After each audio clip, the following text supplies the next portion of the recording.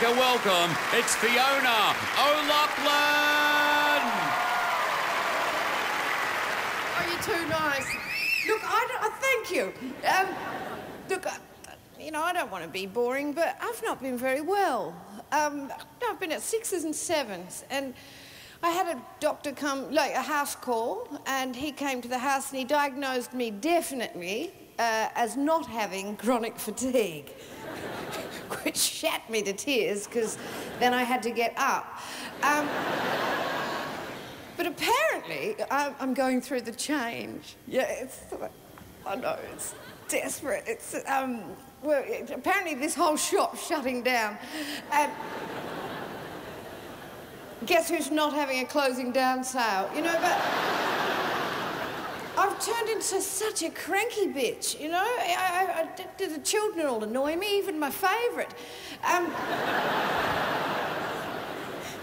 so anyway, then I went to the doctor again, trying to get to the bottom of, you know, my problems, and uh, because my hypochondria was playing up, and... oh, apparently my thyroid shat itself as well. You know, all good fun. But, um, he was taking bloods, but then he, he noticed in my notes that I hadn't had a pap smear for a while. Now, I don't want to tell you about my last pap smear any more than you want to hear about it, but think of it as a cautionary tale, right? Now, apparently when you're going through, uh, well, apparently one, some of the symptoms of menopause are you, you know, you get cranky, well, I know that, and you get very tired and you get forgetful. You start losing things, right? And uh, that's just really frightening because I've been losing things my whole life, right?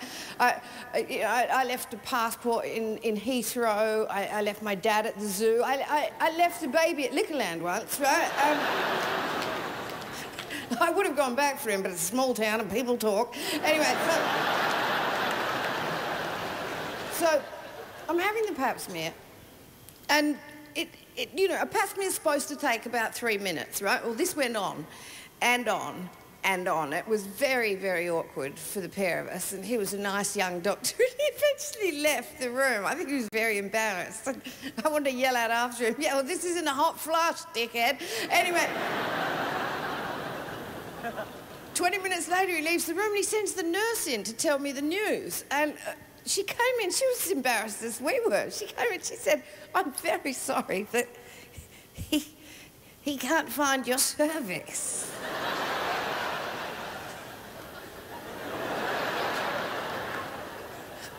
and I was like, of all the car keys and the wallets and the handbags I've lost.